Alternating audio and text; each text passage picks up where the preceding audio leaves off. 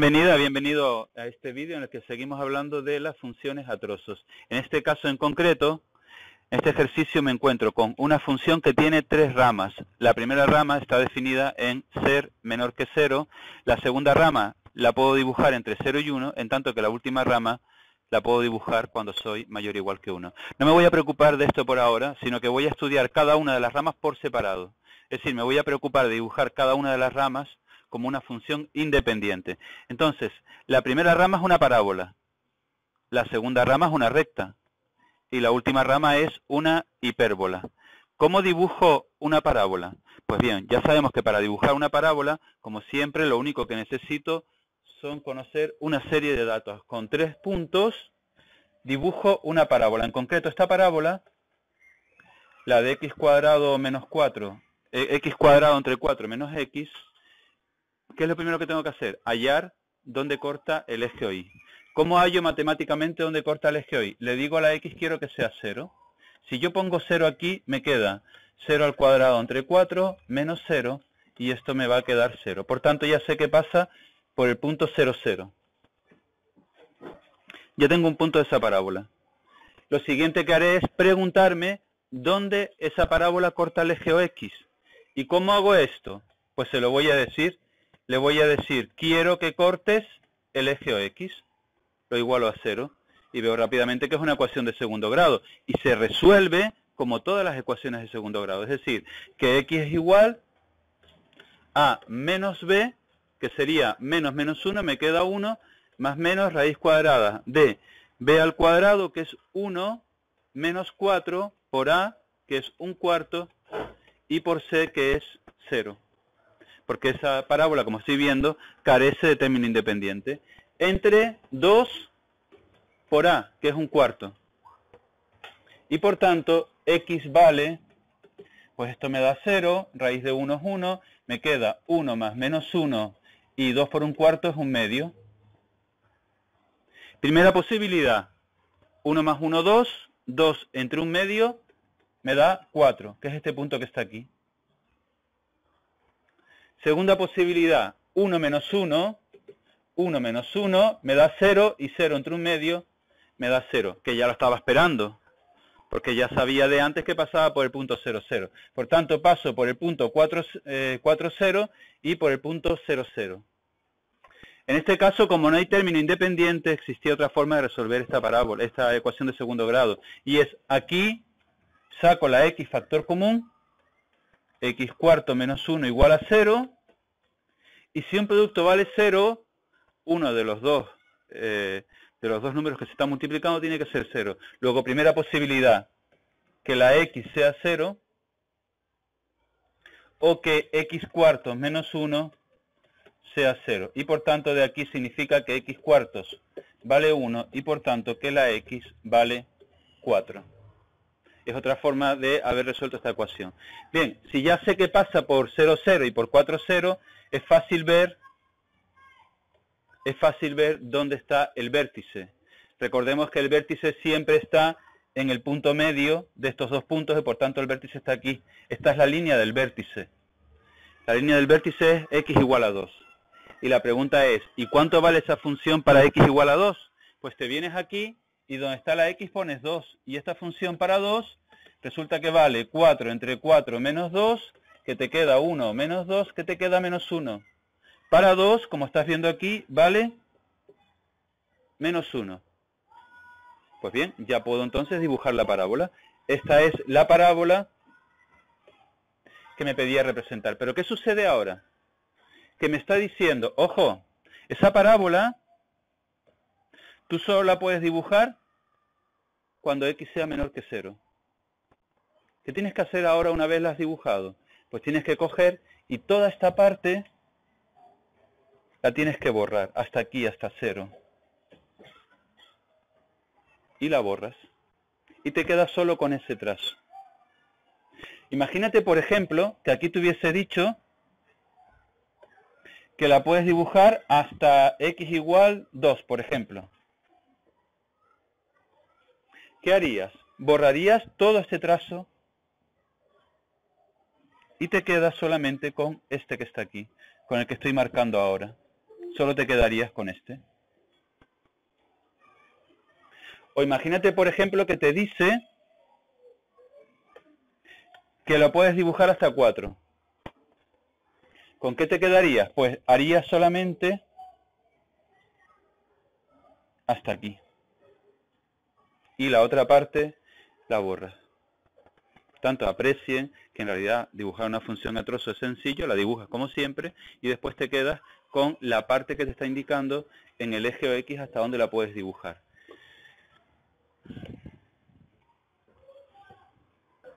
Por eso, al hacer la gráfica, vean lo que ha hecho la gráfica, después se las comentaré. He dejado las dos funciones que se, se superpongan y vean, ha borrado, al hacer la función a trozos, ha borrado, tal y como les indiqué, ha borrado esta parte. Bien, voy a hablar de la siguiente. La siguiente es muy sencilla, es una recta.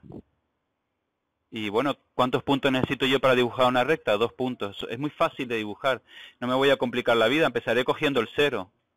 ¿Cuánto vale esta función para cero? Cero. Ya sé que esta recta va a pasar por aquí, por el cero, cero.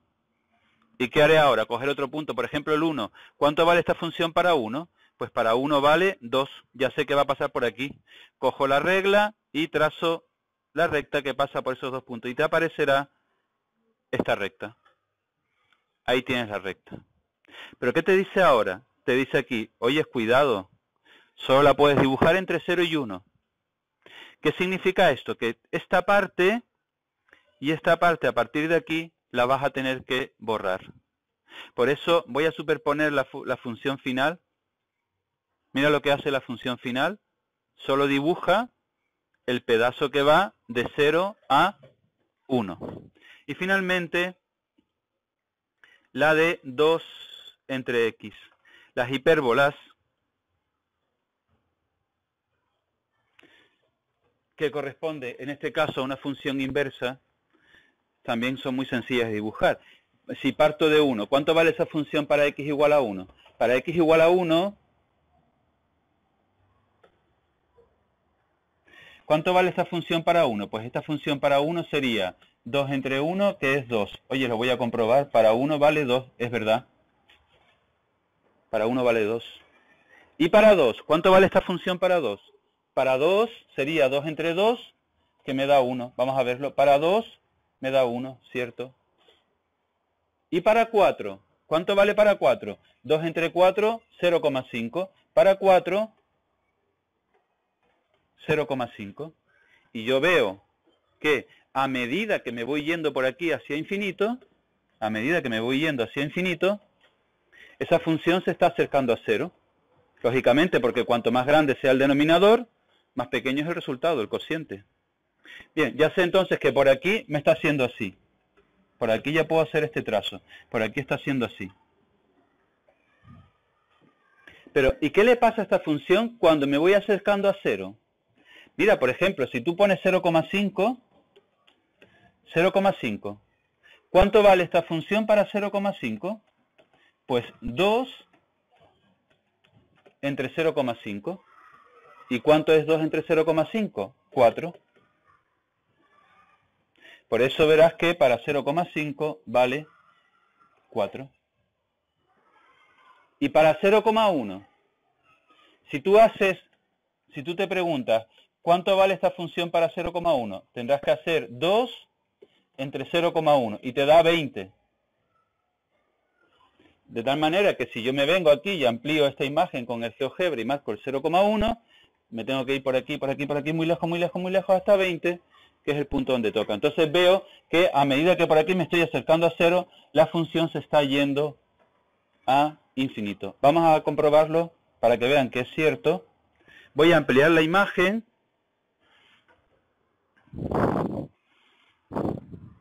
Estoy ya en la línea Aquí está, la línea de 0,1.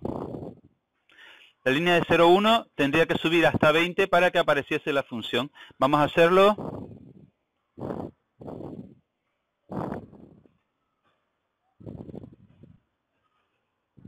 Pues me lleva un tiempito, como están viendo, debido a la escala que estamos usando.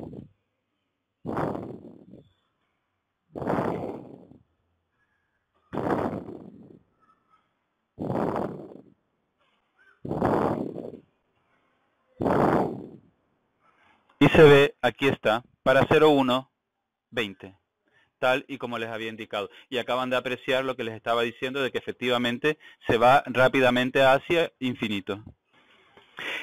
¿Y qué pasaría para los números negativos? Pues el razonamiento que he hecho para los números positivos sería exactamente igual para los números negativos, pero fíjate que si pones menos 1, 2 entre menos 1 te está dando menos 2. Por eso para menos 1 vale menos 2.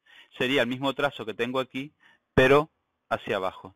Y ahora me vengo aquí y me fijo en lo que me dice aquí. Oye, cuidadito, solo lo puedes dibujar si eres mayor o igual que 1. Y si eres mayor o igual que 1, ¿qué implica? Que a partir de aquí sí que lo puedes dibujar. Este trazo va a permanecer, pero este trazo vas a tener que borrarlo igual que vas a tener que borrar este trazo. De tal manera que si yo superpongo la función final, fíjate lo que ha pasado, lo que hace esa función. Toda esta parte y esta parte la borro. Por tanto, ya una vez he hecho las tres gráficas, me quedaría esta función a trozos. Esta función a trozos, hasta llegar a 0, viene como una parábola, entre 0 y 1 va como la recta que comenté antes, y a partir de 1 va como esa hipérbola que, como están viendo, se está acercando al eje OX. A la vista de esta función, ¿qué diré? Diré que es una función continua en todos sus puntos, porque ya me he encargado yo de prepararla para que se encuentren estas ramas. Evidentemente esto es poco habitual, lo habitual es que no se encuentren. Y esto es fácil, por ejemplo, de cambiar, de tal manera que imagínate, por ejemplo, aquí que tengo 2x, si yo aquí en vez de 2x hubiese escrito 2x más 2, por ejemplo, mira lo que pasa. De repente esa función sigue siendo continua en todos sus puntos, salvo en 0 y en 1.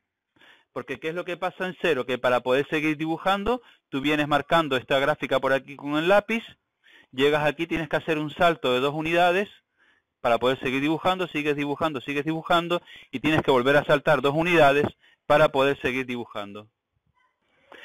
El segundo ejercicio también consta, es una función que consta de tres ramas.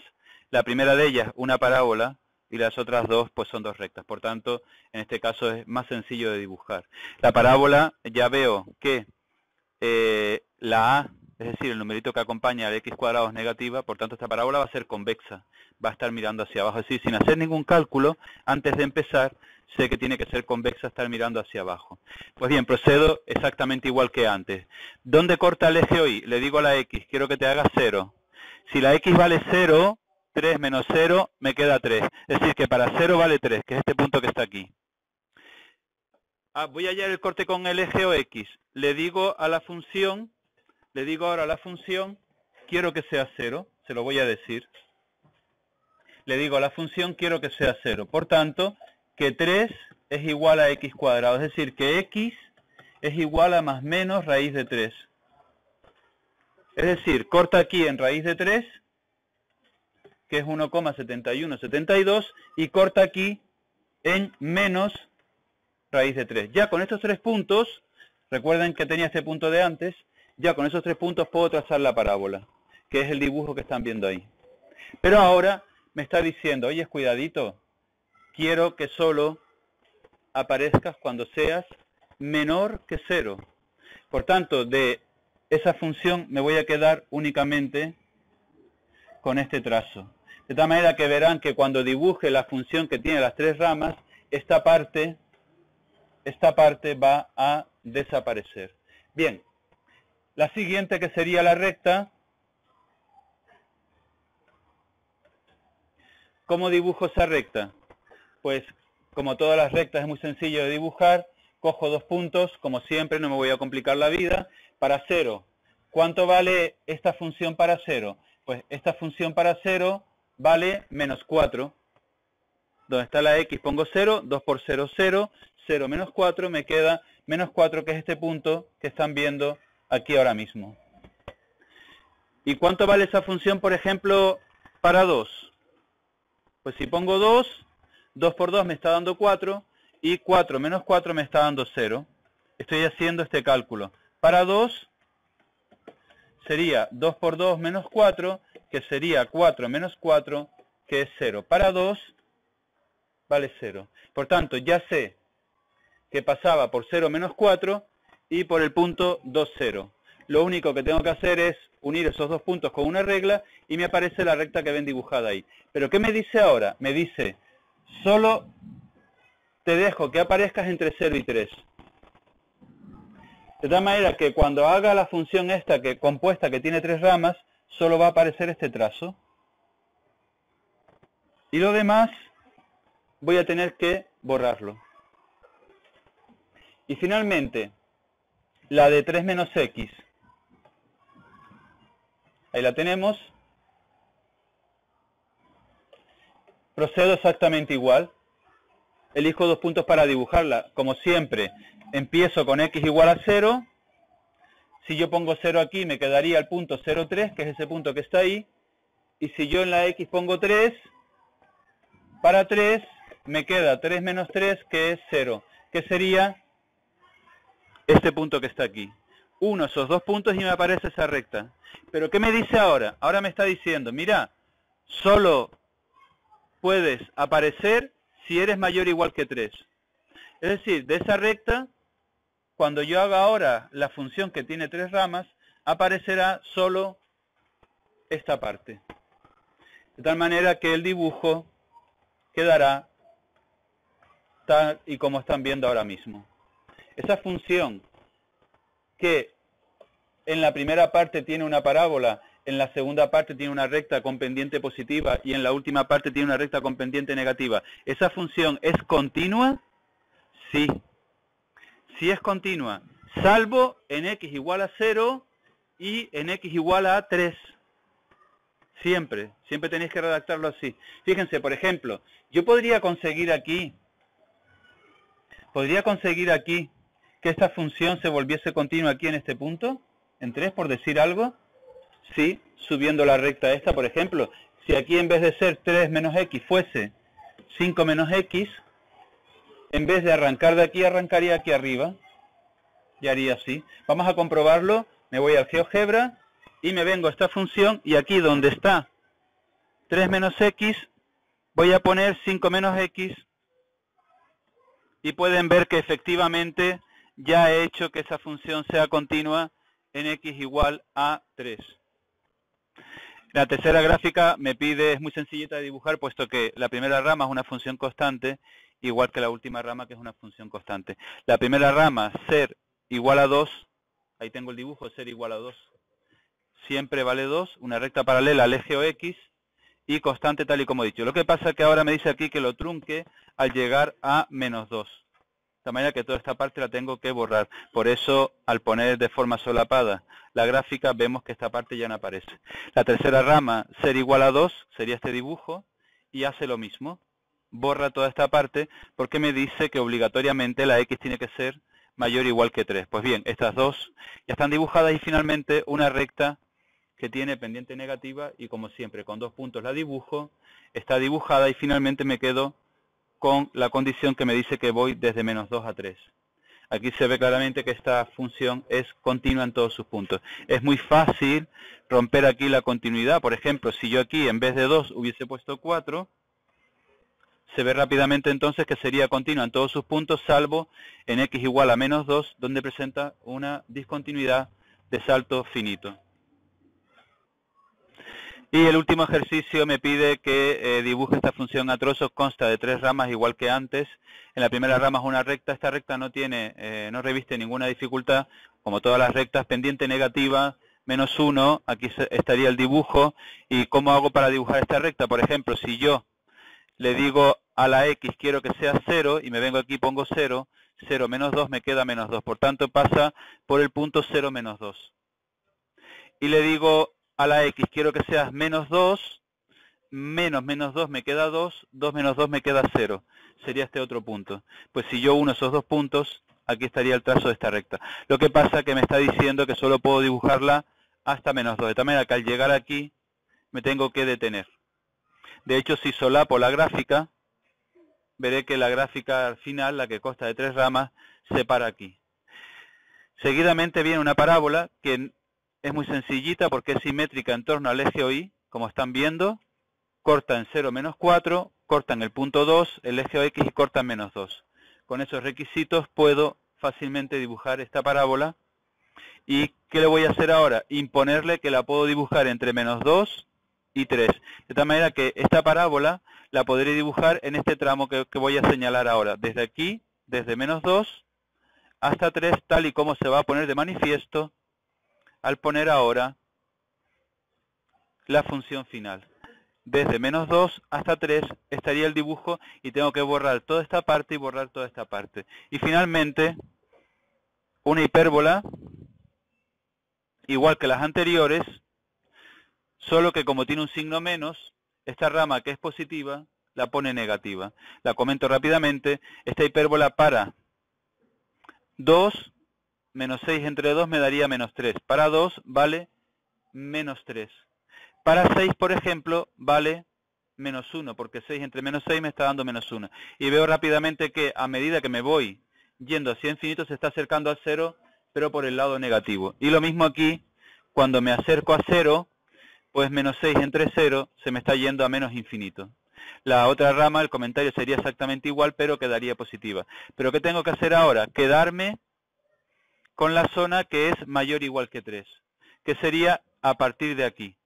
De tal manera que todo esto tendría que borrarlo igual que aquí. Si solapo la gráfica final, tal y como estoy viendo ahora, se ve claramente que esta parte la ha quitado y esta parte también. De tal manera que al poner la función que es a trozos, se ve claramente que esta función es continua en todos sus puntos, salvo en x igual a 3, donde presenta una discontinuidad de salto finito, porque yo voy dibujando por aquí con el lápiz, aquí al llegar a este punto frontera, no tengo que levantar el lápiz para seguir dibujando, sin embargo al llegar aquí, sí que tengo que levantar el lápiz para poder seguir dibujando y seguir en esta zona. Por eso podemos afirmar que es continua en todos sus puntos, salvo en x igual a 3.